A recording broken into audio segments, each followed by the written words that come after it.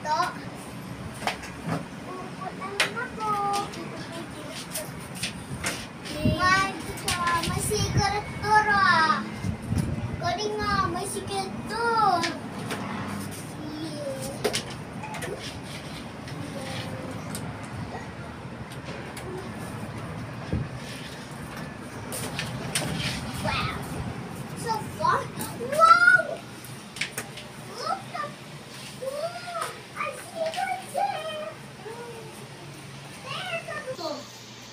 Binigay yung, binigay dalawa sa kaibigan niya.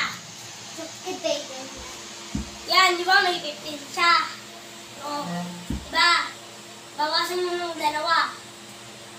May binigay siya, o may 30 na siya, di ba? Tapos binigay niya sa kapatid niya isa.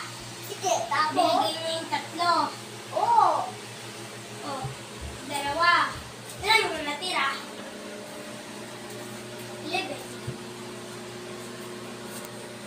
bebê forte.